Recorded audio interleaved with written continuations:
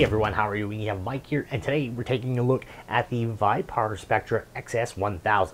Um, so we've done quite a few of these Vipar lights now, so this is coming like second nature to us. Um, so I just want to start out by saying that Vipar has sent this uh, light over for us to review. Uh, so that's what we're going to do today. We're going to test the PAR, um, we're going to uh, test how hot she runs, and we're going to test the electrical uh, draw being uh, pulled out from the wall. Um, and we're going to cover that all in this video here today. Um, we're also going to cover some of the changes that we see from this light, uh, from the other XS series lights. So let's get into it. Uh, so to start out, these here are using the Samsung LM301B chips. Uh, 252 pieces to be exact, and uh, that is made up of a mix of 3000 uh, K, 5000 K, your 660 deep red uh, nanometer chips, and also your 730 IR. Uh, so for drivers, this is using a XLG uh, 150. Uh, so right away we notice there's a big change here. This is not using the top of the line HLG drivers now. Um, they went to the XLG, which is a little bit confusing because uh, when the XS series came out, they really boasted that. Um, and they even took a hit at Spider Farmer uh, for using the XLG series. Uh, so the difference between these ones, obviously, is there's a, an extra additional two-year warranty, so a seven-year warranty with the HLG, uh, 1,200 hours more um, expected life expectancy out of the uh, HLG, um, and uh, just it's also more efficient. So uh, really kind of surprising that they, they switched the uh, driver on this light because now the rest of the XS series doesn't match. So um, a little confused with that. But anyways, let's get into the features. Uh, so this one here is actually kind of cool with the uh, dimmer potentiometer.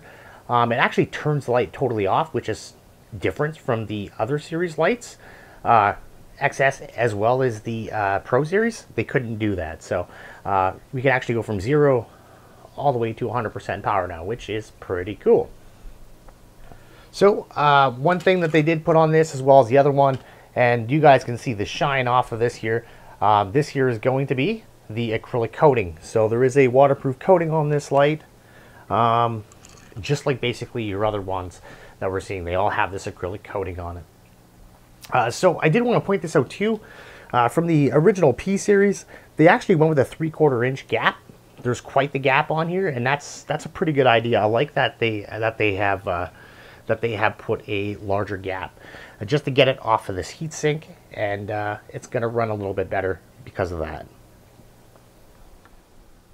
So one thing, if you haven't seen the P or the P or the XS series lights uh, yet, they do have this nice aluminum heatsink, uh, which is giving you what I believe is a quarter inch uh, fins, um, and it's uh, just a, an overall nice uh, chassis of a light. I do like how it's uh, it's a nice solid sturdy um, and it is really a sturdy light. There is no flex to it absolutely at all. So that's something that I really do like about this light. So what we're going to do here, guys, is we're going to get this light par tested. Like I was mentioning earlier, uh, we're going to test the energy consumption from the wall. And uh, we're also going to test how warm she runs. So let's get into it.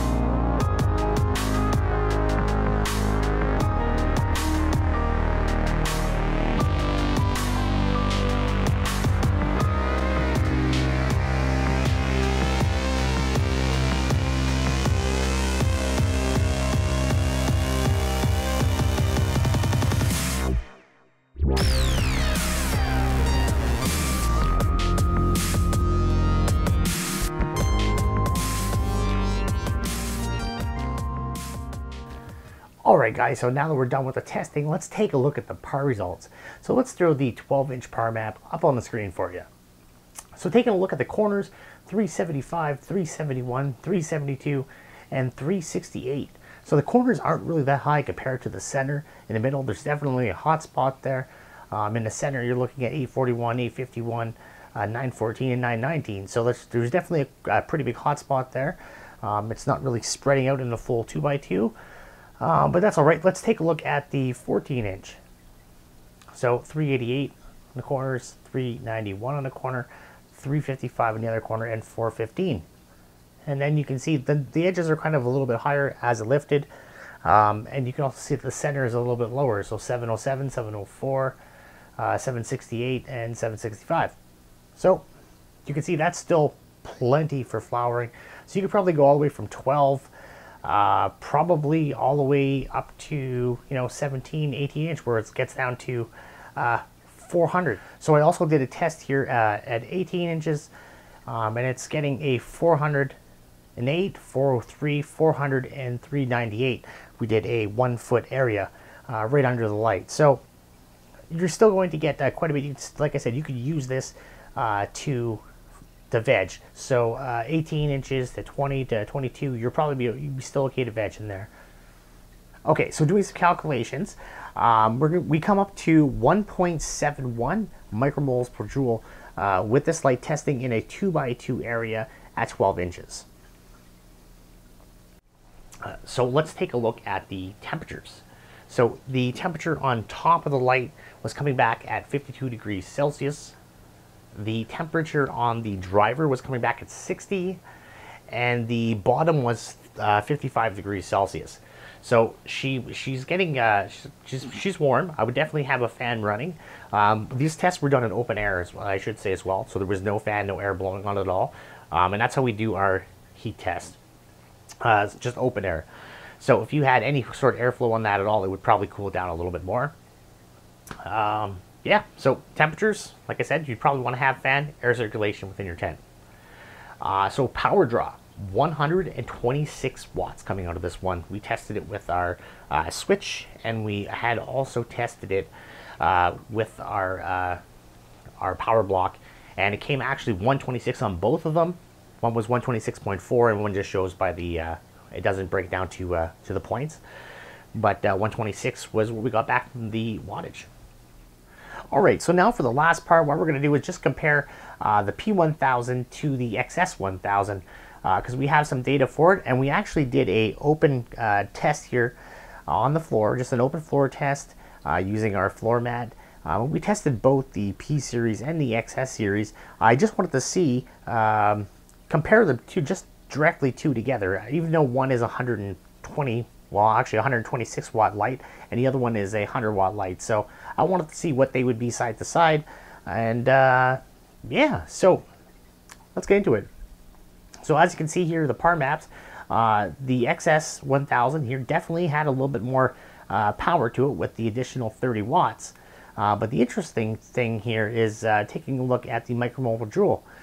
Uh, the 100 watt P1000 is actually 1.76 uh, and the XS1000 is at 1.77 micromoles per joule. So these are super close together.